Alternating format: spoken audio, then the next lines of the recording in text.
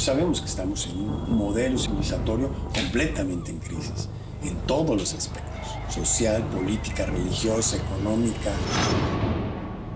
Llegará el momento dado que va a colapsar.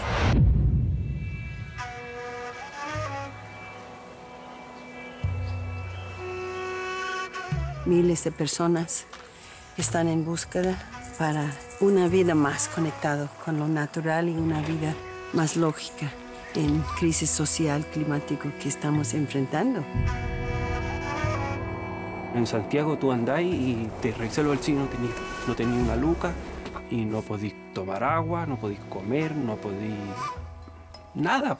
No es la vida que quiero vivir yo. Huehuecoyot es la aldea que iniciamos un grupo de circo nómada que viajó por medio mundo realmente y de ahí se fue formando la tribu de los viejos coyotes. Tenemos que buscar un lugar donde vivir en contacto con la naturaleza. Somos conocidos internacionalmente como los Hare Krishnas. Solamente un loco podría comprar un arenal que te acerca a la playa como terreno. Vimos que la tierra nos puede dar comida, energía, podemos hacer una huerta, un invernadero. Esto yo creo que te invita a encontrar tu propio sistema y lo más importante, pues ser feliz. Vienen mujeres con muchos problemas, historias de vida que las han marcado mucho y más que vecinas somos amigas.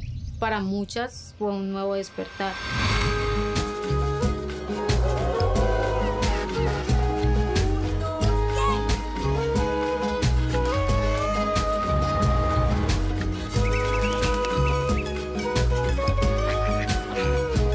Pues es un santuario.